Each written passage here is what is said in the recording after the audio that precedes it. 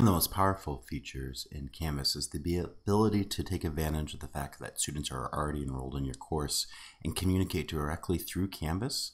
Uh, there's a number of feature enhancements um, that uh, you can leverage by doing so.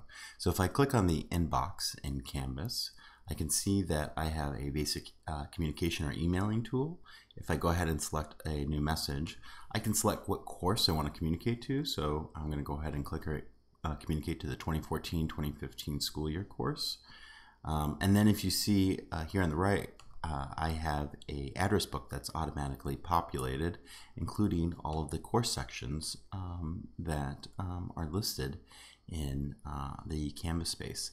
And so you can see that uh, instead of having to type each student's name individually for my section one course, um, I can go ahead and just say all in S81 and it will send a message to everyone in the course.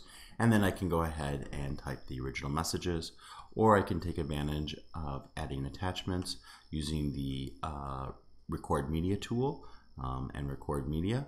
Um, or I can upload a video that I've already created to send uh, to my students and then click send. All correspondence then will uh, come through in my inbox or when I'm on my Blake homepage um, in Canvas.